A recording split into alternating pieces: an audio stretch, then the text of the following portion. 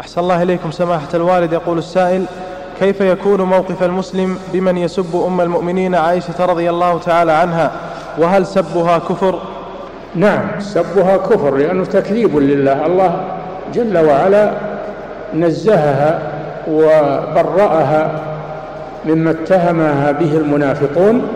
الله برأها. فالذي لا يبرئ أم المؤمنين يكون كافرا لأنه مكذب لله عز وجل. وأيضا الذي يسب أم المؤمنين يسب الله جل وعلا. ليه؟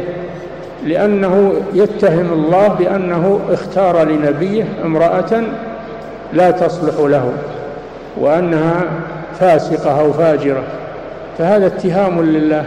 والله جل وعلا يقول الطيبات الخبيثات للخبيثين والخبيثون للخبيثات والطيبات للطيبين.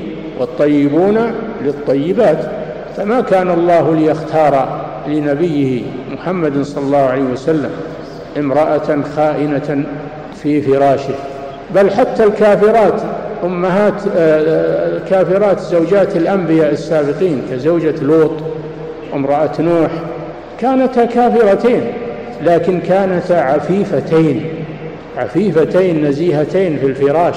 لأنه لا يمكن أن يختار الله لنبيه فراشا فاسدا فهو يكفر من هذا الوجه. نعم.